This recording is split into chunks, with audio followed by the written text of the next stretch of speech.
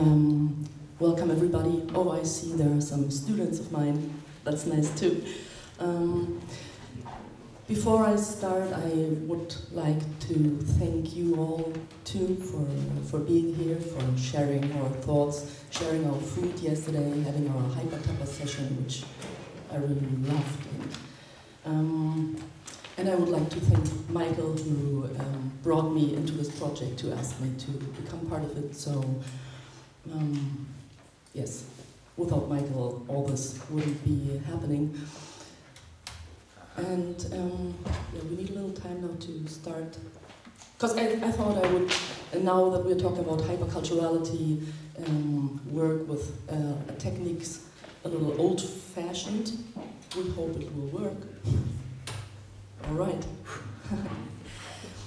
um, the talk I'm going to give you, uh, I called it Connecting Doubts, and that has a double meaning because you could say connecting doubts means to have individual doubts from different persons which you then try to connect. Like I could have a doubt um, on identity and you might have a doubt on culture. But there's another meaning too, which would be that um, process of doubting itself has a connecting power.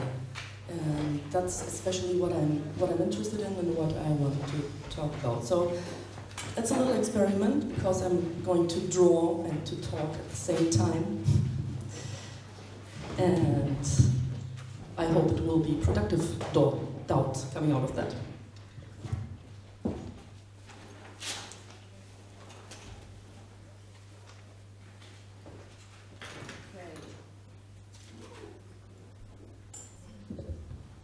Can you hear me when I when I speak like that? I think that's loud enough, right? So I cannot don't need to hold the microphone. All right. Um, I think uh, from my point of view, one of the main, one of the most important reasons of um, roots of violence in, in the world today have to do with uh, what I would call the, the will to certainty. I think the problem we have is that we still have the heritage, um, I think, from Western thinking, uh, which in itself is based partly in Christianity and partly in the dualisms coming from Descartes, um, is the problem of wanting to identify um, the world to gain certainty. Um, if you do that, um, it's a little bit like a policeman uh, saying, you, you are guilty, come to prison. So our concept of of certainty and of knowledge, for that matter, is that we have a subject um, which wants to identify the object and then negate it. So um, when you do that, you don't really get in connection with, with the outer world. You actually you try to to annihilate it by becoming part part of you. So it ends up being something like this. A is A. It's like I is I, you know. Um, doesn't work. Doesn't work. Um, you could say that also this subject-object relation um, could be understood as a relation between subject and the other. You know, so you don't have another object, but you have another person.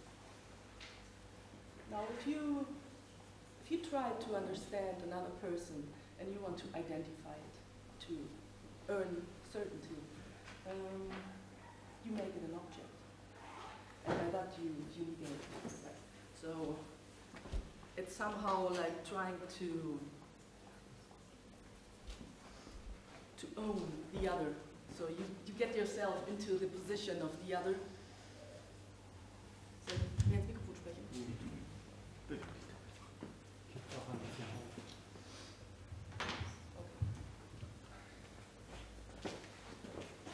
So either you're trying to inhabit the other and then put yourself into the position of the other, or you try to eat the other up and make it yourself. This concept of identity is, um, you could say, you could compare it to, to the concept of property. Right? So it's like certainty is something you own. And um, this idea also has the aspect that if you think you own certainty, you deserve certainty. Right? So if you doubt, if you're uncertain, um, this could lead to the conclusion that somebody has taken away your certainty, right? So you have to get it back. And to get it back, um, it's almost an act of, of, violence, of cruelty, because it's sort of a retribution. If you think that somebody is uh, responsible for your doubts, for your uncertainty, then um, again, you get the policeman say, you know, give it back to me. Uh, that concept of identity is a concept you could compare it to a safe, to a trésor. you know, you have your you have your, your property, your wealth, and you don't want anybody to, to take part of that. Um, another way to describe that would be maybe with the metaphor of, um, or the story of Odysseus. You know that Odysseus traveled for many years, but actually his, his journey was um, trying to, to come home. So actually, the journey was only a detour to, to get back to, to himself, to, to the ego. So that would be this kind of movement, right? You move, but you move to go back to the place. There's, a, there's another story. You could say another um, metaphor would be um, the journey of Abraham. Abraham um, traveled but he didn't, he didn't go back home, you know. He went to another country, to the promised land. He didn't know what was going to expect him there. Um, and while doing that, he changed himself. You know, he went into the otherness and didn't come back. So what I'm interested in and what I think is very important in the um, hyperculturality we have been talking about is that what connects us is the, the doubt, you know, getting away from that violent um, posture of certainty. And that's a different movement. I like to explain it with the aesthetic theory of, of the Kantian um, critique of the power of judgment, where he says when we when we experience something beautiful, which for me is almost synonymous with, with doubting, when, when I hear some, I hear a talk, I, I see a performance, I have an aesthetic situation, my, my arrow doesn't go to the object. It's not going to, it's not identifying, but the arrow goes back to the subject because I'm wondering, how do I find it? What, what is that, you know? Um, do I like it or, or, or don't I like it? So, and then the interesting thing is when you try to find out what you really feel about something, that could be a political situation too. Um, you're honest with yourself. You're not taking the pre-given concepts to you know, what you could call the pro, con, whatever posture, you know, being instantly in favor or being instantly against something, or if you don't have the option between A and B, you say, I don't care, which is actually the same as saying I'm, I'm against it, but without taking even the stakes of the responsibility of thinking about the con contraposition. So if you try to get outside of the cosmos of the pro, con, whatever posture, um, you will find out that you don't know who you are. As Sandro said the other day, um, we, we, don't know who we are. And um, many people think that's scary. They think that doubting is um, you know, similar or it's the same as fear, pain, guilt. It's not the same. Because fear and guilt especially has always pre-given criteria. You know, you think you're guilty because some authority, be it internalized, be it external, mm -hmm. tells you you're wrong. Right. But when you ask yourself, how do I find something? Um, your criteria themselves start to dance. They, they become they become vivid, you know, they, they what, what Rancière calls the dis disidentification.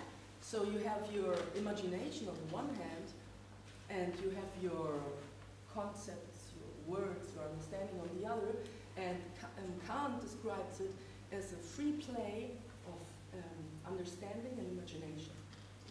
If you do that, something different happens. For that, I need to show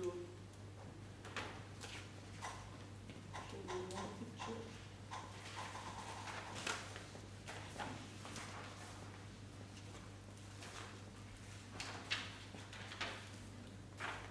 okay, how's everybody doing? Okay. Super. All right. So.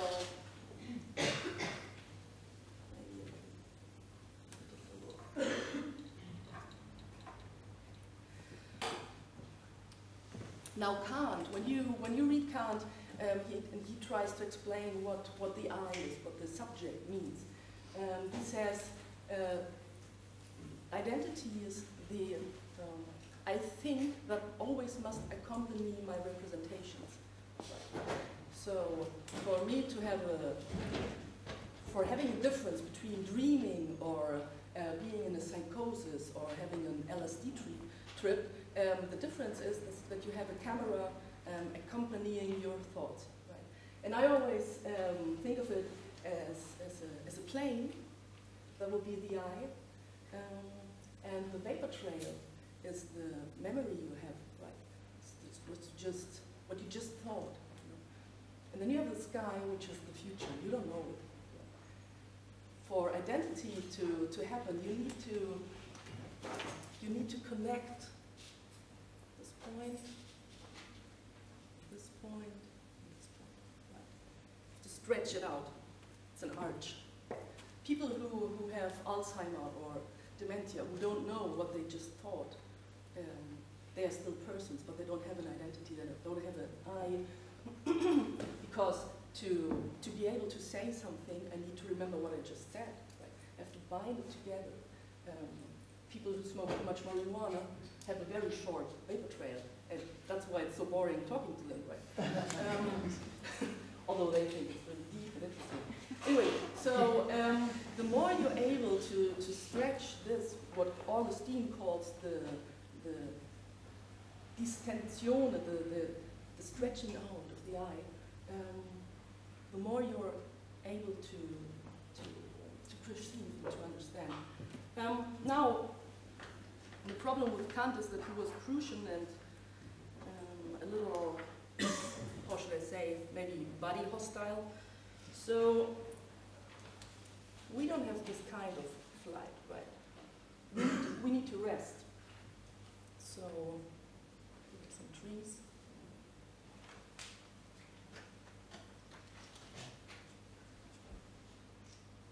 William James, the philosopher William James, who invented the, the term of the stream of consciousness, which then influenced uh, James Joyce and Virginia Woolf, um, said that when we think, uh, you can imagine thinking is a bird, right? But thinking has flying places and resting places. It's not like a plane, it's not, you know, the fuel has to be refilled. Um, bird has to rest. So the, the flying places, you could say, is, is the doubting. I don't know where I'm going. The resting places is where I think I'm sure, but it's only temporarily. And what's really interesting is to wonder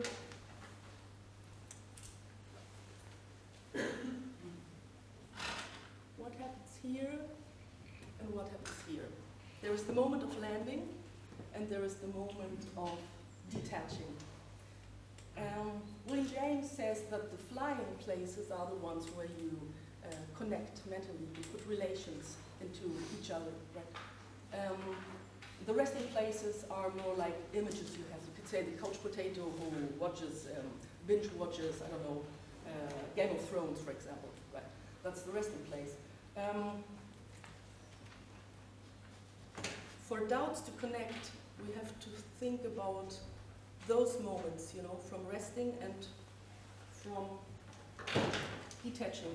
And the interesting thing is, if you take the idea from Abraham, you know, who's going outside into the otherness,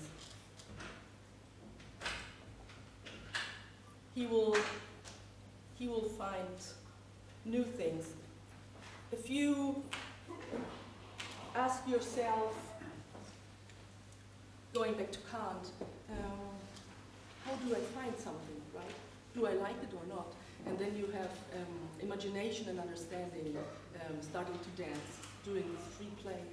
Um, what you will notice is that the area behind the subject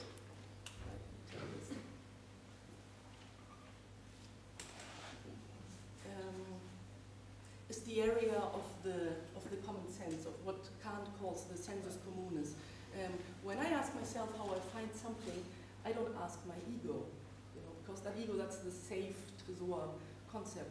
Um, it's rather that I ask myself, um, I ask like the humanity inside of me. It's like trying to, to find an answer from an oracle, which I don't know, but which would be humanity. Um, I address I address everybody. This is why Kant says that the aesthetic judgment is disinterested. You know, I'm not trying to win somebody over. Or that. That's not the point. Um, if you really ask yourself, how do I find something? It's not the ego. And you could say,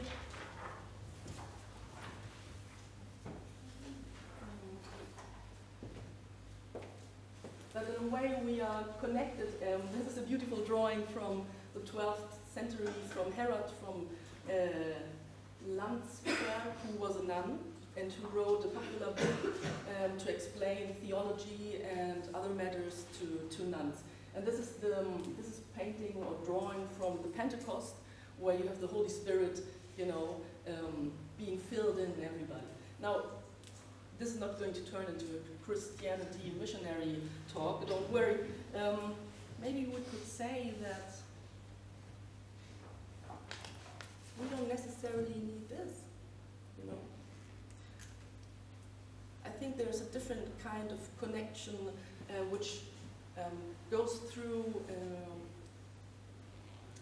humanity. That's, that's the connecting out. And if we do that,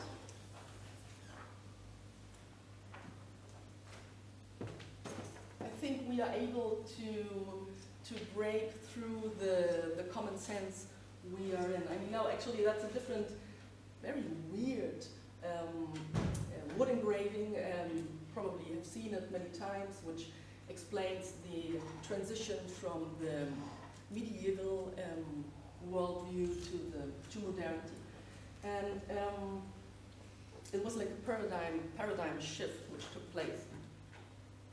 Now for paradigm shifts to take place, you need to get outside of the comfort zone, as people would say today, right? You need to overcome your own criteria. That's very difficult to do, because usually um, we, we judge with our criteria. Those are our, um, those, that, that's the, the Werkzeug, that's the instrument, the tools we, um, we need to, to get along in the world problem is if those criteria become too fixed, we get back to the will to certainty and to violence for that matter.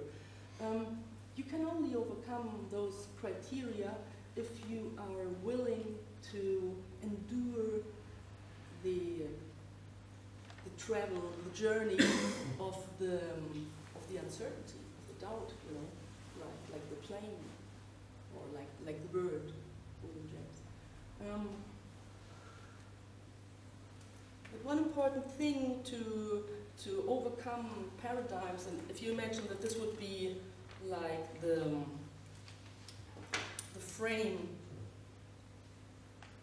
of our common sense, is that um, to overcome this, maybe we need to we need to connect. Now you can imagine that those stars would be like subjects only if you if you connect, um, you can you can together um, try to break through that that violent common sense. And maybe what is also very important to to take into account is that when we talk today about about the subject or our identity, it seems to us that it is um, something something we always had. Well, that's not true. The idea of the subject, the idea of aesthetics, the idea of liberty, of freedom, are um, concepts which were, which were developed, which were invented in a way um, 250 years ago, right? Um, and those concepts were developed in the, in the Enlightenment period. That was the time when, when Kant wrote and, and so forth. Uh, that was the time of the French Revolution, you know, liberty, um, equality, fraternity. That was also the time that was the peak of colonization and slavery.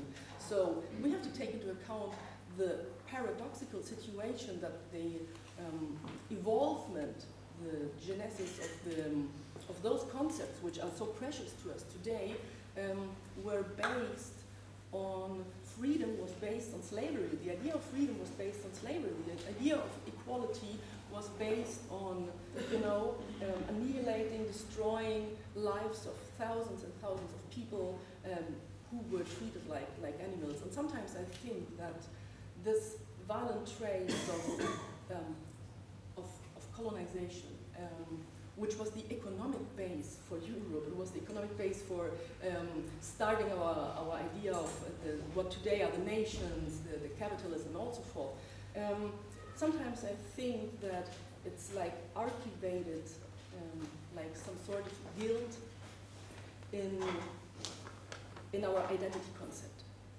Because this will to certainty, this coming back to this, to the safe, to, to this trying to, you know, um, to raise the borders, to be not um, menaced by, by others.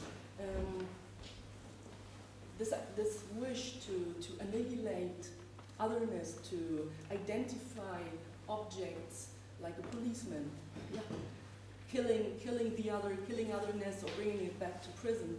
Um, sometimes I think that that's a movement which maybe has to do with the guilt of somehow know, knowing that this identity concept has been pretty treacherous and pretentious in that it um, imagines of being, being free and detached from, from worldly matters when in fact um, it, was, it was based on very worldly matters of, um, of, of, slavery, colonialization, and, and so forth. Right? Um, so that's something which seems to be very important for our talking on hyperculturality because um, when you think of cultures as, as identities or this, you know, very problematic talking of clash of cultures and, and so forth, um, it's simply like the um, multiplication of the ego of certainty to many. So you say, we are, we are us, and you are the other, and our us has certain features, um, and if you don't share those features, um, you have to stay outside, or we have to annihilate you. Um, it's the same movement if you have an identity of a person or of a state or of a so-called culture. It's same violence, the same, these are the frames and don't change them, you know, these are our criteria we are right. Um, that's the problem also with the talk of interculturality in part or multiculturality that you think you could have like those frames of identity um, beside one another. Of course it will collide. Of course there will be a clash of culture if you presuppose them being fixed entities. Talking about hyperculturality instead means that you connect in a way, as if you imagine those as subjects, of, um, of doubting subjects, you know, who have their criteria um, remaining, remaining alive, remaining moving, and that through that kind of movement, you, you find a connection. Um,